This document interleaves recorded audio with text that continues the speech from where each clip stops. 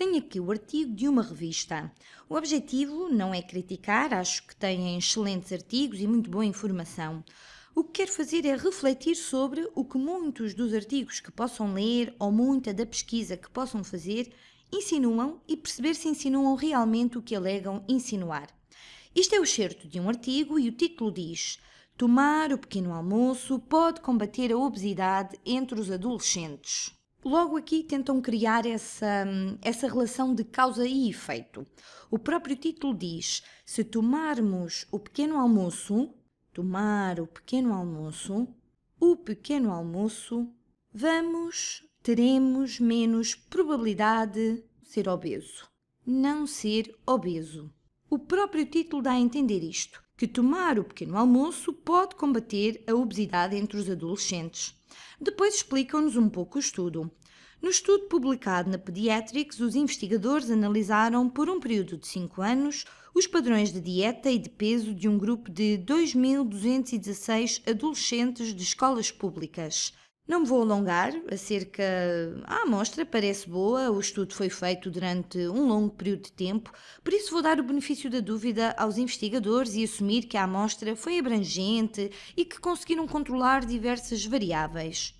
O artigo continua dizendo: os investigadores concluíram que os adolescentes que tomavam o pequeno almoço regularmente tinham uma percentagem menor de calorias provenientes de gorduras saturadas e comiam mais fibras e hidratos de carbono do que os que não tomavam pequeno almoço. E, em certa medida, em certa medida, a primeira frase é óbvia. O pequeno almoço costuma consistir em cereais, sementes, em geleia, waffles, pão. Tudo isto pertence ao grupo dos hidratos de carbono e dos açúcares, o que não é necessariamente bom. Não sei se o bacon é mais ou menos saudável do que encher a barriga de geleia ou de choca-pique ou algo do género, mas não vamos falar disso agora. Além disso, quem tomava o pequeno almoço regularmente parecia ser mais ativo do que quem não o fazia. Mais uma vez, tentam criar outra relação de causa e efeito. Quem tomava o pequeno almoço regularmente parecia ser mais ativo do que quem não o fazia. O que estão a insinuar é que o pequeno almoço, o pequeno almoço, tomar o pequeno almoço, leva-nos a ser mais ativos. Ser mais ativo. E nesta última frase dizem que, com o tempo, os investigadores perceberam que os adolescentes que tomavam pequeno almoço regularmente tendiam a ganhar menos peso e tinham um índice de massa corporal inferior ao dos que não o faziam. Então podemos, estão a dizer-nos que saltar o pequeno almoço, é isso que estão a insinuar, saltar o pequeno almoço é mais provável ou pode ser uma causa do excesso de peso ou da obesidade. Então, toda a narrativa do título ao último parágrafo dá a entender que tomar o pequeno almoço evita a obesidade, que isso nos torna mais ativos e que saltar o pequeno almoço nos torna obesos. Isso leva-nos a pensar que temos mesmo de tomar o pequeno almoço, mas temos de pensar nas motivações e nas indústrias que gravitam à volta do pequeno almoço. O mais interessante é perceber isto. Esta investigação diz-nos de facto que tomar o pequeno almoço pode evitar a obesidade? Diz-nos mesmo que tomar o pequeno almoço torna as pessoas mais ativas? E que saltar o pequeno almoço causa excesso de peso ou obesidade? Ou, ou que pelo menos é mais provável. Ou será que só nos mostra que estas duas coisas tendem a ocorrer juntas? E esta diferença é muito importante. Deixem-me, vou usar aqui um bocadinho de terminologia técnica, vão parecer palavras caras, mas na verdade até nem são. Será que indicam causalidade? Será que indicam causalidade, que é o que parece que estão a insinuar. Tomar o pequeno almoço é a causa de não sermos obesos, tomar o pequeno almoço é a causa de sermos ativos, não tomar o pequeno almoço é a causa de ficarmos obesos. Aparentemente estão a insinuar causalidade, estão a insinuar uma relação de causa e efeito, mas na verdade o que o estudo abordou foi a correlação. A correlação. Portanto, na verdade, estamos a. O objetivo disto é mostrar a diferença entre causalidade e correlação, porque são coisas muito diferentes. Causalidade versus correlação. Como já disse, a causalidade indica que A causa B. No caso da correlação, significa apenas que A e B tendem a ser observados em simultâneo. Quando B acontece, aparentemente A também acontece. Quando A acontece, parece que B também tende a acontecer. É muito importante perceber a distinção entre estes dois conceitos, porque podemos chegar a conclusões muito, muito, muito, muito diferentes. Uma coisa que este estudo faz, assumindo que foi bem feito, é mostrar que há uma correlação. Este estudo mostra que há uma correlação. Mostra, se acreditarmos nos dados que nos fornecem, que saltar o pequeno almoço se correlaciona com a obesidade e que a obesidade se correlaciona com saltar o pequeno almoço. Ocorrem ao mesmo tempo. Ser ativo correlaciona-se com tomar o pequeno almoço e tomar o pequeno almoço correlaciona-se com ser ativo. Tudo isto se correlaciona. O que não dizem, e não temos aqui dados que nos digam uma coisa ou outra, é o que é que causa o quê. Talvez haja uma causa subjacente que esteja na origem de ambas as coisas. Por exemplo, dizem que tomar o pequeno almoço causa atividade, ou melhor, insinuam que tomar o pequeno almoço causa atividade, não o dizem explicitamente. Mas talvez o facto de sermos ativos nos leve a tomar o pequeno almoço. Talvez o estudo não diz que é possível que as pessoas ativas tenham mais probabilidade de ter fome de manhã. Talvez ser ativo, ser mais ativo, leve a que se tome o pequeno almoço. Tomar o pequeno almoço. E nesse caso, podemos ver as coisas de uma forma diferente. Nesse caso, podemos dizer, se calhar, se formos ativos e saltarmos o pequeno almoço, não estou a dizer que devem fazê-lo, porque não tenho dados suficientes para isso, talvez percamos ainda mais peso. Talvez até seja mais saudável. Não sabemos. O que nos tentam dizer é que, se tomarmos o pequeno almoço, ficaremos mais ativos. Que é um resultado muito positivo, mas talvez possamos ter o resultado positivo sem pequeno almoço. Quem sabe? Do mesmo modo, dizem que saltar o pequeno almoço, ou melhor, insinuam que saltar o pequeno almoço pode causar obesidade, mas talvez seja o inverso. Se calhar as pessoas com muita gordura corporal, por algum motivo, têm menos fome de manhã. Talvez, talvez, talvez seja assim.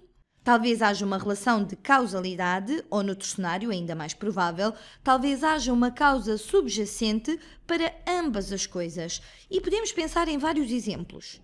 Um deles pode ser, um deles pode ser o da atividade física. Atividade física.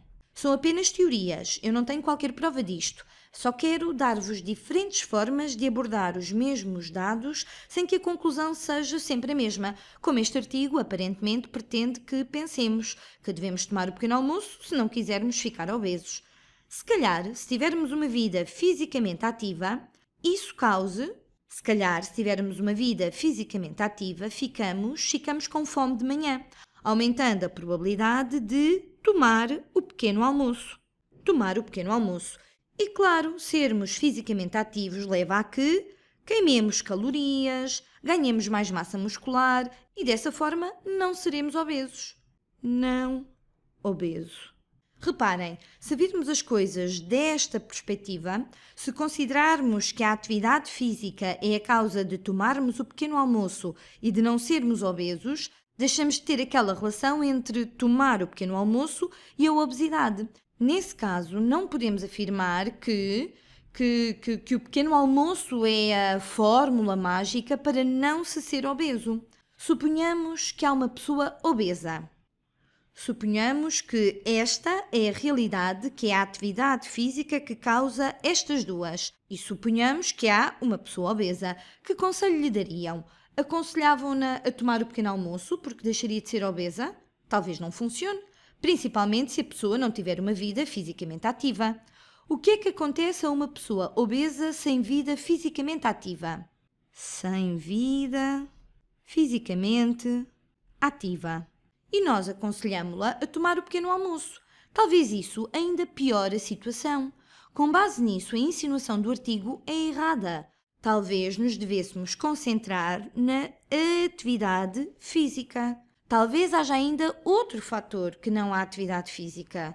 Talvez, talvez deva dormir. Se calhar, as pessoas que adormecem tarde, que adormecem tarde e não dormem o suficiente, adormecer tarde não dormir o suficiente, se calhar uma pessoa que não durma o suficiente, talvez seja isso que conduz à obesidade. E claro, como não dorme o suficiente, acorda o mais tarde possível, tem de se despachar para não se atrasar. Se forem estudantes, têm de se despachar para chegarem a tempo às aulas e talvez por isso saltem o pequeno almoço. Talvez seja essa a razão por que saltam o pequeno almoço.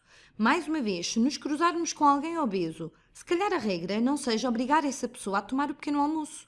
É possível que isso só piore a situação.